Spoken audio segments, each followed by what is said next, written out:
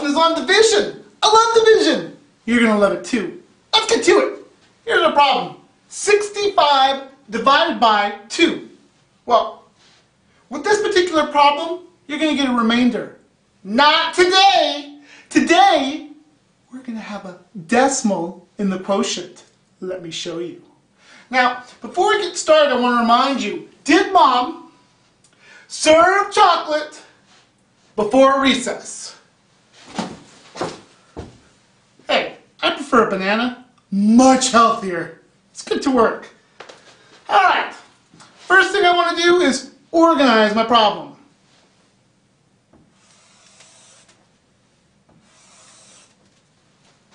First step, divide. 6 divide by 2, or 2 into 6. 3. Next step, multiply. 2 times 3, 6. Subtract. 6 minus 6, 0. Next step, check. 0 is less than 2, keep on going. Next step, bring down. Bring down the 5. Now, next step is repeat. Keep the process going. Back to the top. Divide. Whoop, gotta put our 5 there. 5 divide by 2. 2. Next step, multiply. 2 times 2, 4.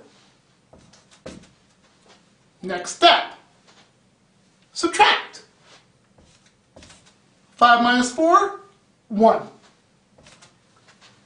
Next step, check. 1 is less than 2. Keep on going. Now, the next step is bring down, but there's nothing to bring down. And I told you, we're not going to have a remainder today. Therefore, we're going to put a decimal and a zero.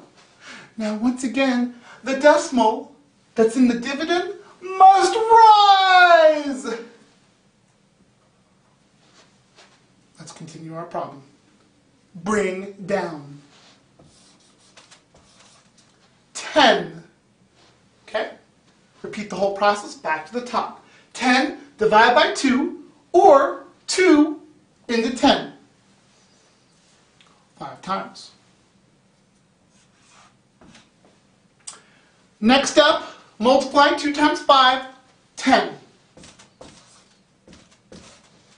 Next step, subtract. 10 minus 10, 0.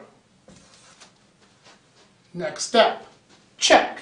0, less than 2, keep on going. Next step, bring down. Nothing there. We are done. Therefore, 65 divided by 2 gives us a quotient of 32.5 or 32 and 5 tenths. That concludes our lesson on division. Coach Mike at My Growing Brain. Challenge yourself.